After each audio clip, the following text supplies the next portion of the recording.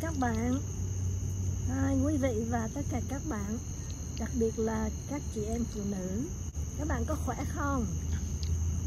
Hôm nay vào đầu tháng 7 thì không khí ban ngày hơi nóng. Nhưng mà tối đến thì rất là mát. Không khí rất là dễ chịu các bạn. Khí hậu ở đây rất là dễ chịu. Thu Anh làm trong ngành thẩm mỹ và ngành nail. My back here thì Thu Anh theo kinh nghiệm bản thân của Thu Anh trong quá khứ, Thu Anh mới sang Mỹ thì Thu Anh có làm những cái ngành nghề, những cái công việc rất là có hại cho đôi bàn tay, cho, nhất là cho da tay của mình. Thì da của Thu Anh đã từng bị khô và chai.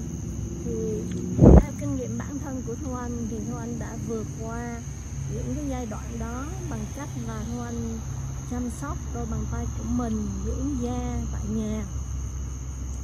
Thì Hữu Anh rất là mong muốn tất cả quý vị và nhất là các chị em phụ nữ và đặc biệt là các chị em làm trong ngành nail, da tay của Thu Anh thì thời gian Thu Anh mới vào tiệm nail làm rất là bị hại, những cái hóa chất như là liquid nail hoặc là Thu Anh làm pedicure thì những cái hóa chất cho pedicure rất là hại cho da tay của các chị em phụ nữ. Thì Hoan mong muốn là cái video clip này có thể chia sẻ những cái kinh nghiệm đó cho các bạn chị em phụ nữ, đặc biệt là các chị em phụ nữ trong ngành nail có đôi bàn tay đẹp hơn. Bởi vì đôi bàn tay của mình rất là quan trọng, các bạn đôi bàn tay nó nói lên cái cá tính của mình, personality của mình.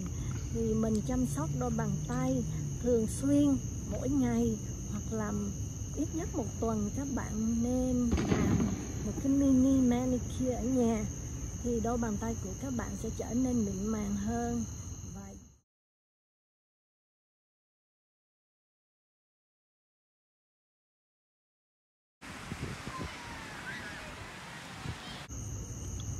Các bạn ơi, trước đây thì Hoan sang Mỹ, Hoan làm trong cái ngành nhà hàng và những cái ngành nghề mà như là mình làm ở chợ, grocery thì nó có hại cho đôi bàn tay lắm, nhất là về làn da của đôi bàn tay.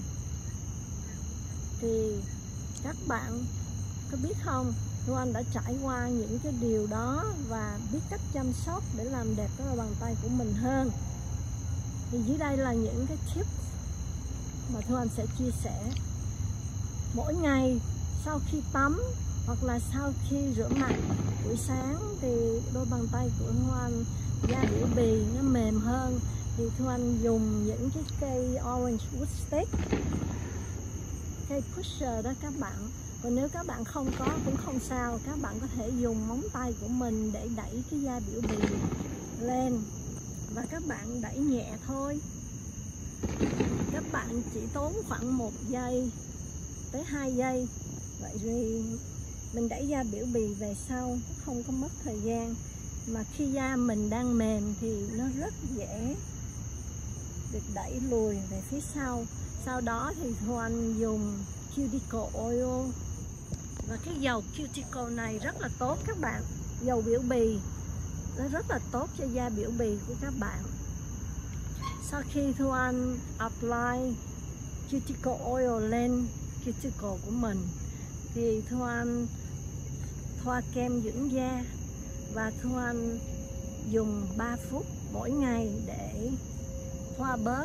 Các bạn chăm sóc tại nhà mỗi ngày, bôi dầu và bôi kem dưỡng da à, một tuần một lần lần thì mình à, chỉ cần một tuần một lần mình xếp lại cái móng tay của mình. Rồi mỗi ngày thì mình um, buff nó để làm cho nó mịn hơn. Và nếu mà các bạn đi ra ngoài chơi các bạn không cần phải um, polish làm cho móng tay mình có màu mình không cần phải sơn. Nhưng mà theo thu anh thấy thì nếu mà các bạn ra ngoài ăn với gia đình hoặc là đi mua sắm, các bạn chỉ cần thoa hai nước nước bóng lên bàn tay, móng tay của mình. Thì móng tay của mình nó được đẹp hơn trong phút chốc. Tại vì mình luôn luôn chăm sóc cái da biểu bì, mình luôn luôn chăm sóc cái da tay của mình cho nó mịn. Và da tay mình không bị khô nhám, mịn màng, mình thoa bóp mỗi ngày. Chỉ cần 3 phút thoa bóp thôi, các bạn sẽ thấy sự khác biệt rất là cao. Các bạn chăm sóc các bàn tay của các bạn như là mình chăm sóc da mặt và chăm sóc da cổ của mình. Tại vì da tay, bàn tay của một người phụ nữ rất là quan trọng. Thì mong rằng cái video này hữu ích cho các bạn. Các bạn thích và các bạn ủng hộ hoan. Anh và trong tương lai có những cái video clip mà Thu Anh làm thêm để giúp đỡ um, chia sẻ từ những cái kinh nghiệm cá nhân của mình đến các bạn gái đặc biệt là các chị em trong ngành nail các chị em muốn làm đẹp các phụ nữ um, muốn làm đẹp các bạn muốn làm đẹp các bạn uh, chia sẻ video đến những người thân của mình cảm ơn các bạn đã theo dõi cho tới cuối cùng.